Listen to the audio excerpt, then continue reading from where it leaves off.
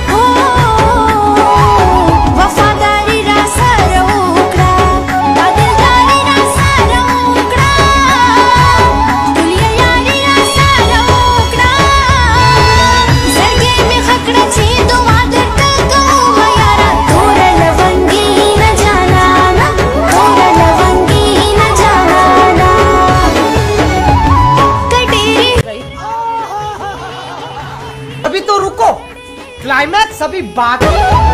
पसंद